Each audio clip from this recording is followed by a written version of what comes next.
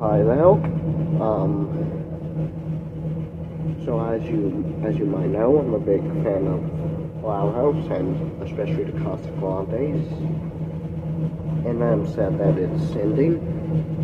And I was gonna do this before I knew about its cancellation, but I'm still gonna do it. Um, yeah, just happy birthday. Um, we uh, made gold actor for Sid Chain on Grandes.